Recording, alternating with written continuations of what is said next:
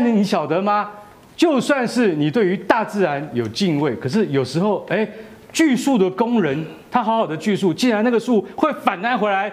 倒打他一耙，怎么会有这种怪事呢？那个都说大自然的反扑是非常可怕的。是。人类如果要这个挑战大自然的话，嗯，那我们还是真的像刚刚说的要心存善念。马来西亚最近就发生了一个工人，他拿着巨大的这个电锯，然后把一个这个梯子呢架在了这个树上面，然后开始呢要去锯，开始锯这个大巨大的这个树干，然后开始把它的树枝锯掉之后，那个树枝突然砰一下，它整个从好像海盗船一般的这样子掉回来，把这一个人一面正面的打到，然后。他拿着那个电锯啊。连人带锯啊，还有包括那个这梯子，他整个就摔倒在地上。这边你看那个冲击力有多大？哇！这边你再会算也算不到，这个会打到自己。是啊，而且他这个他怎么知道那个时间刚刚好？他这样锯完了，那个树枝似乎想要报仇一样。是，你锯我的树枝，我我我一定要修理你一下。对，所以很多的网友这个网这个影片上传到网络之后呢，很多网友看到纷纷这个惊讶说：“Oh my god，这一定很痛吧？我的天啊！希望这个工人还 OK 吧，不会这个受伤太严重吧？你看这样被树打到了，然后。”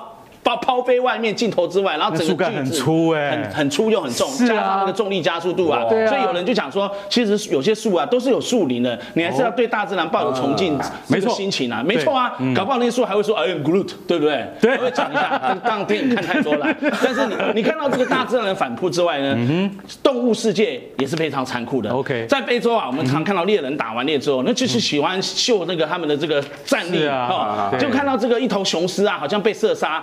他趴在了这个地上，然后这一对男女呢，他就说：“哎，我们来拍一张照片，拿回家挂在墙上啊，这是我们的战功啊，是啊，哎，很开心的。”结果没想到这个女生尖叫，另外一头雄狮从后面冲过来，哎呀，是不是从哪里冒出来的？这个男生在调他的照相机的时候，女生拿着猎枪赶快跑。你看，雄狮似乎要变为他的同那个同类报仇，报仇，然后赶快扑上去啊！本来开开心心的想要合照纪念一下。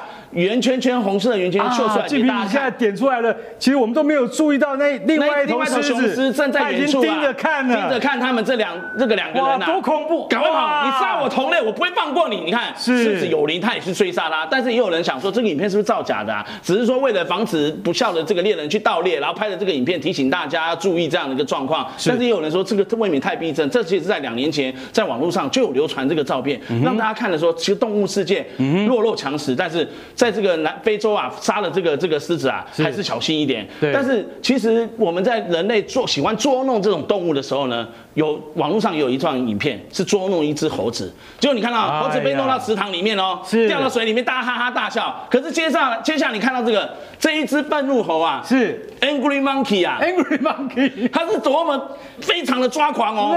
他刚刚被那个大哥哦，意思应该说那个大叔哦，就是想要捉弄他，把他推到那个这个池塘里面。你再看一次哦，他本来背对着个大叔。没想到呢，都是猴子捉弄了。没想到他也被人捉弄，这推到了那个池塘。他想说他会不会溺毙，结果猴子的身手是很灵巧，马上跳出来，然后去追那个大叔去抓他。那个大叔吓得连滚带爬往旁边跑，而且不是只有那个 angry monkey 哎，旁边的 monkey 也看不下去，你欺负我们大哥，你不知道花这个花果山美猴王是我们这里啊，然后赶快去追他。就那个大哥往旁边跑，旁边的路人看，对我看到他跑进那个房子里面，而且他躲起来，他不敢出来。然后师傅想要拿东西攻击这个 angry monkey 啊，是啊，旁边的几个人看的都哈哈大笑，本来。以为是在看这个猴子的笑话，没想到是看这个大叔的笑话。你没事去捉弄一只猴子，你跟他过不去，你是太幼稚了吧？所以其实啊，不要去跟动物开玩笑。但是有时候我们常常讲，去野外，比如说钓鱼，对，鱼钓到了，大鱼上钩了，很高兴。但是你知道国外有一段影片，是这个巨型的金枪鱼，它被鱼线勾住了之后呢，它要要来跃出水面，是。突然你觉得它好像上钩了，是不是？是。但是它跃出水面，它好像不甘心被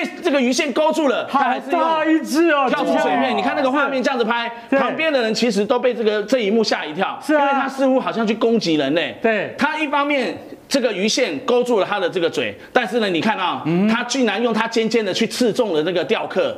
这多危险啊！这是我们用这个这个电脑的这样示意画面给大家看。对，因为它跳出水面是为了什么？它虽然嘴巴鱼的嘴巴被鱼线勾住，可是它前面金枪鱼那个前面是很真的刺，哎，是啊，起码二三十公分有了吧？对，超过了哦。对，它就好像一一把利刃一样，它往前一冲，那个巨大的冲击力，它可以把原来那个丢出鱼线那个钓客啊，直接抽中那个刺中他的这个咽喉。哎，这样子刺过去也会要人命呢。是啊，是会要命的。所以用这个示意图来看。这个后来那个那名男子就受了重伤，你知道吗？这个这等于就是虽然鱼上钩了，大鱼上钩，可是他拼命的在他挂了之前呢，对。使命的最后一刻复仇，也是很可怕的啊。没错，那说到这样的一个这个金枪鱼会这个会复仇，那国外其实还有一段流传的这个画面是在那个诶？北洲南部的纳米比亚的这个草原，你看两个猎人非常的恶这个恶劣，他们在拿着猎枪在射杀一一群象群里面的一头大象，他们在猎象其中一个猎人还说。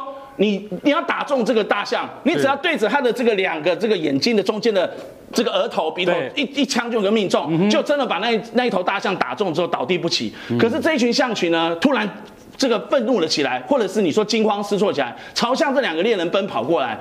这两个猎人始料未及，突然看到这一幕画面，嗯，就他们的确打中一头大象，那头大象也倒地了。嗯那其他的大象呢，往他们这个冲过来哦，一方面好像要为他这个被打中的大象报报仇仇，那一方面呢，也是要往这边冲。你说他惊慌，他也是朝开枪的人类这边跑，对啊也是很奇怪哦。后来那个这个猎人啊，心有余悸的讲说，哎，我们这边是一年可以开放打两头大象啊，我一年只打两头啊，那怎么为什么这些这一群大象往我们这边狂奔呢？好像有点这个无辜。但是其实啊，真的不要去猎杀这些动物啊，是在这些不管是纳米比亚的这个野生动物保护区啊，对这头大象还是很可怜的。尤其你们打大象干嘛？去倒卖这些大象的象牙吗？真的非常残忍，这都是国际保动物保护组织所不允许的啊。所以看到这些画面，也是提醒那些盗猎的，或者是不管你说宣称是合法的猎人，这真的是太可恶了，不要做这种丧尽天良的事啊！真的。所以，我们跟动物还是保持安全距离。是但是有时候你骑摩托车在路上被狗追，那没关系，顶多脚甩一甩，没有踢到他，还其实，哎，是可以骑建平。你讲到这个，我真的对可以被狗追过，但是你骑摩托车像这个画面，如果你被嗯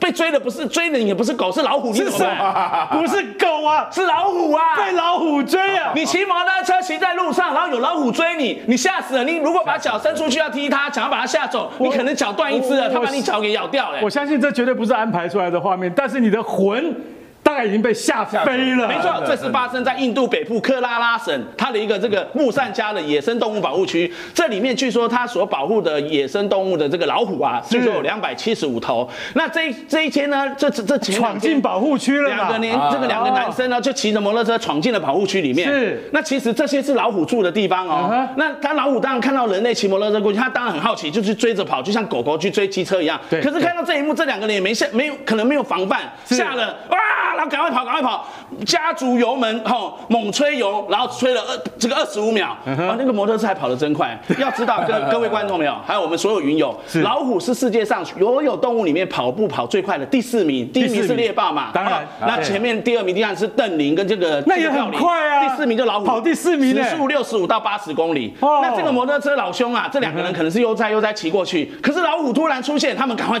吹足油门冲出去了是。然后很多人就看着说，哎，这这两个印度大哥啊，这个摩托车在哪里买的啊？这个牌子好像不错，零到二十五秒可以吹油门吹那么快。